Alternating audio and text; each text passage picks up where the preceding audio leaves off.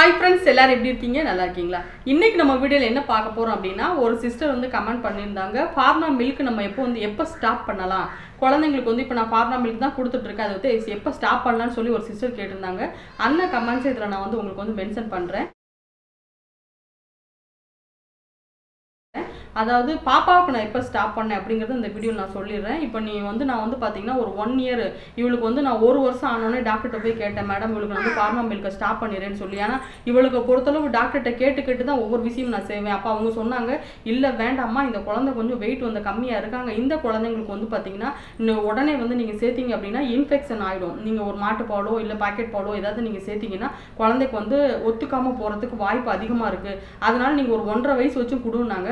Doctor doctor சொன்னதை நான் ஏற்றுக்கிட்டேன் but ஆனால் நான் வீட்டுக்கு வந்து என்ன பண்ணேன்னா ஒரேடியாக நான் வந்து ஸ்டாப் பண்ணலை. ஃபார்மா மில்க்கும் கொடுப்பேன்.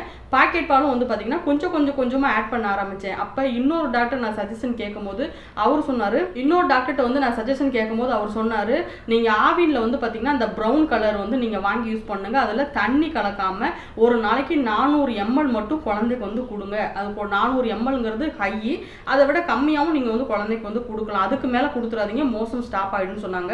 அப்போ நான் ஃபுட்டு ஸ்டார்ட் பண்ணிட்டேன் இல்லைங்களா? நம்ம வந்து ஃபுட்டு ஸ்டார்ட் பண்ண ஆரம்பித்தாலே இந்த பாலை வந்து கொஞ்சம் கொஞ்சமாக கம்மி பண்ணணும். அப்போ என்ன பண்ணேன் அப்படின்னா அந்த பாக்கெட் பாலை வாங்கி கொஞ்சம் கொஞ்சமாக ஆட் பண்ணேன். இப்போ ஒரு சத்து மாவுலையோ ஒரு இட்லிலையோ அல்லது வந்து பார்த்திங்கன்னா ஒரு இடியாப்பத்தில் குழந்தை கொடுக்குறோம் தோசையில் கொடுக்குறோம் இந்த மாதிரி தான் நம்ம பால் வந்து மிக்ஸ் பண்ணுவோம். மேக்ஸிமம் குழந்தைங்க பால் குடிக்கிறத விட ஏதாவது ஒரு ஃபுட்டில் நம்ம மிக்ஸ் பண்ணி கொடுக்கறது தான் நம்ம அதிகமாக கொடுப்போம். அப்போ அந்த டைமில் தான் நமக்கு வந்து பால் வந்து தேவைப்படும். அதுக்கு வந்து நம்ம ஃபார்மா மில்கே மிக்ஸ் பண்ண முடியுமா? ஃபுட்டை பொறுத்தவரை நிறைய பேருக்கு டவுட் இருக்கும். ஃபுட்டில் வந்து ஃபார்மா மில்க் மிக்ஸ் பண்ண சொல்கிறாங்க மிக்ஸ் பண்ணலாமா அப்படின்னு. நான் வந்து அந்த மாதிரிலாம் மிக்ஸ் பண்ணி தான் கொடுத்தேன். வேறு வழி இல்லைங்கிறதுனால. ஆனால் டாக்டர் சொன்ன அட்வைஸை நான் ஏற்றுக்கிட்டேன் பட் ஆனால் கொஞ்சம் கொஞ்சம் கொஞ்சமாக ஆட் பண்ண ஆரம்பித்தேன் அப்போ அவளுக்கு வந்து ஒத்துக்குச்சு. அப்புறம் இங்கே ஒரு தனியாக கூட மாட்டுப்பால் வந்து திக்கான பால் கிடைக்குது எருமை பால்னு சொன்னாங்க. எருமைப்பால் வந்து அது வந்து கலோரிஸ் வந்து அதிகமாக இருக்குது குழந்தைங்க வெயிட் கெயினுக்கு யூஸ்ஃபுல்லாக இருக்கும்னாங்க. பட் ஆனால் அவளுக்கு வந்து என்னென்னா அது ஃப்ரிட்ஜில் வச்சு வச்சுருக்காங்க ஸ்டார்டிங்கில் வந்து பார்த்திங்கன்னா நம்ம நார்மலாக வந்து பாக்கெட் பால் வாங்கிட்டு வெளியில் வச்சு தான் அதை ஃப்ரிட்ஜில் நான் எடுத்து யூஸ் பண்ணாலே இவளுக்கு லைட்டாக கொரு கொருன்னு சளி இருக்கிற மாதிரி இருக்கும். அந்த மாதிரிலாம் கொஞ்சம் கொஞ்சம் ப்ராப்ளம் வந்தது. அப்புறம் அப்புறம் அப்படியே நார்மல் ஆகிட்டு அப்போ அந்த பாலையும் கொஞ்சம் கொஞ்சம் நான் சேர்க்க ஆரம்பிச்சிட்டேன். சேர்க்க ஆரம்பிச்சோன்னு என்ன பண்ணினா ஃபார்முலா மில்க் வந்து ஃபஸ்ட்டு ஸ்டார்டிங்கில் வந்து பார்த்திங்கன்னா ஒரு ரெண்டு டைம் அதை கொடுத்தேன் அப்படின்னா ஒரு டைம் வந்து இந்த பாலை கொடுத்துட்டு இருந்தேன். அப்புறம் கொஞ்சம் கொஞ்சமாக கம்மி பண்ணி ஃபார்மா மில்கே ஒரு நாளைக்கு ஒரு டைம் தான் கொடுப்பேன். அப்போ இந்த பால் கொஞ்சம் அதிகமாக கொடுக்க ஆரம்பித்தேன் அதுக்கப்புறம் வந்து பார்த்தீங்கன்னா சுத்தமாக ஸ்டாப் பண்ணிட்டு வந்து பார்த்தீங்கன்னா பாக்கெட் பாலே கொடுக்க ஆரம்பிச்சிட்டேன். அதனால் அந்த அந்த எருமை பால் நான் பாப்பாவுக்கு வந்து கொடுக்கல. இந்த பாக்கெட் பாலே வந்து பார்த்தீங்கன்னா கொடுக்க ஆரம்பிச்சிட்டேன். இதுவே வந்து அவளுக்கு வந்து ஒத்துக்குச்சு. ஆனால் அந்த கலர் சேஞ்ச் பண்ணால் அவளுக்கு திரும்பி ப்ராப்ளம் வர மாதிரி இருந்தது. கலரில் என்ன ப்ராப்ளம்னு தெரியல. நாங்கள் தான் நினச்சோம் என்ன எல்லாம் ஆ- எல்லாமே ஆவினோட ப்ரா பிராண்டு தான். பட் ஆனால் அந்த ப்ராடக்ட்டோட சம்மந்தப்பட்டது தான் ஆனால் ஏன் அவளுக்கு அது சேர்த்து சே ஒத்துக்கலன்னு தெரியல. அவளுக்கு சளி உடனே சளி பிடிக்கிற மாதிரி ஆயிடுச்சு. அதனால் வந்து பார்த்தீங்கன்னா என்னோட பாப்பாவுக்கு அப்படி இருந்தது. மாதிரி இருந்தது. அதனால அந்த ப்ரௌன் கலரை தான் இன்னமும் வந்து பார்த்தீங்கன்னா அந்த ப்ரௌன் கலர் தான் நான் பாப்பா வாங்கி யூஸ் பண்ணுறேன் இப்போவுமே வந்து பாருங்க ஆனால் தண்ணி நான் எப்போதும் மிக்ஸ் பண்ணதே கிடையாது. அவங்க ஒரு மூணு வயசு வச்சு தண்ணி மிக்ஸ் பண்ணக்கூடாதுன்னு சொன்னாங்க.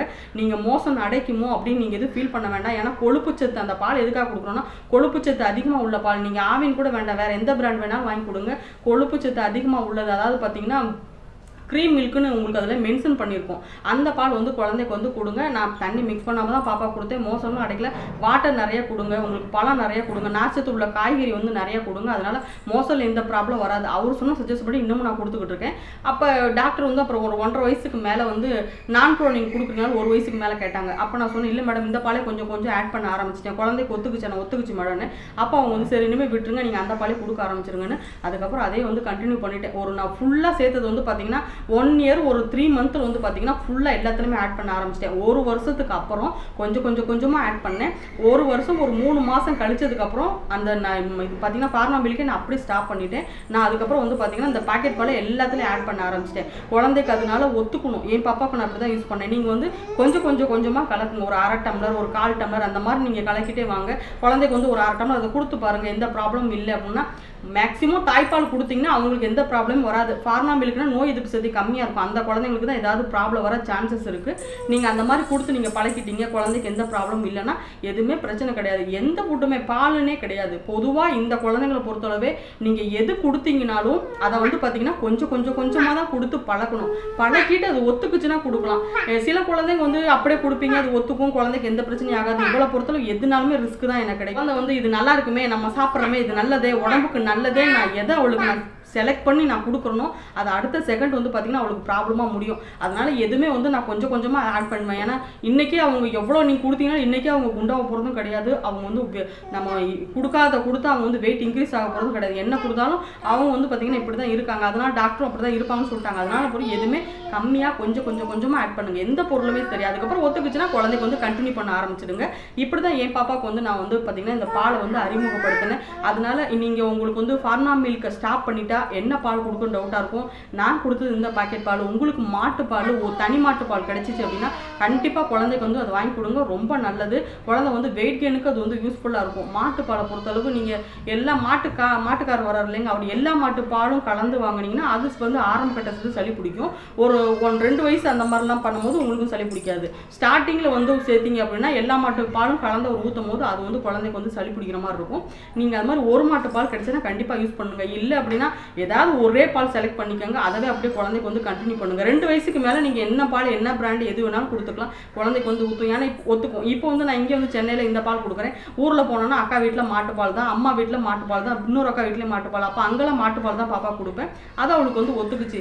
அப்போ அந்த சூழ்நிலைக்கு தகுந்த மாதிரி நம்ம வந்து மாற்றிக்கணும் அதுவும் ஒத்துக்கணும். ஒரே பாலே கண்டினியூ பண்ணிட்டு நாளைக்கு மாட்டுப்பால் கொடுக்காம நாளைக்கு ஊருக்கு எங்கேயாவது ஒரு டைம் கொடுத்துட்டு போகிறோம் நம்மளோட சூழ்நிலை அதை கொடுத்தே ஆகிற மாதிரி வருது. அந்த டைமில் அவங்களுக்கு ஒத்துக்காமல் போயிடக்கூடாது.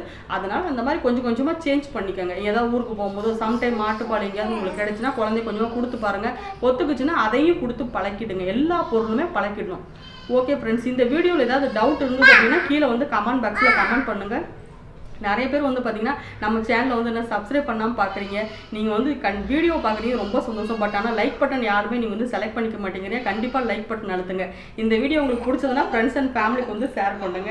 நீங்கள் இப்போ தான் நம்ம வீடியோ வந்து ஃபஸ்ட் டைம் பார்க்குறீங்க அப்படின்னா சப்ஸ்கிரைப் பண்ணிட்டு பாருங்கள் தேங்க்யூ ஃப்ரெண்ட்ஸ்